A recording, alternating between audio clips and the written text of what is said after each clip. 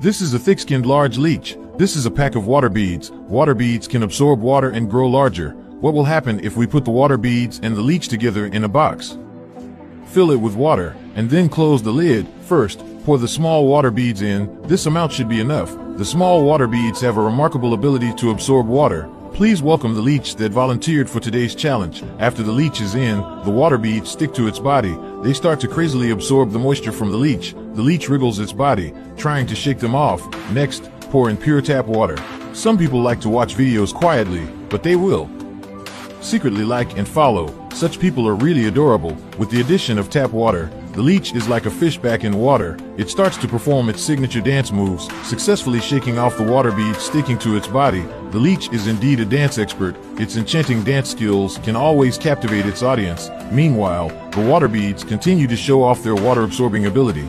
They grow rapidly. The leech moves back and forth through the gaps between them. Water beads, now jumping up and down, now burrowing and playing hide and seek. Its space to move is gradually getting smaller. Let's leave the leech here and come back in the evening to see if it gets flattened by the water beads. Brothers, it's evening now. Oh my, what has happened here? The water beads have pushed the lid open. They are scattered everywhere. Where did the leech go? It's no longer inside the box. It couldn't have run onto the big brother's bed, could it? Now, this is a big issue. Thank goodness we discovered this in time, otherwise, the leech would have successfully escaped.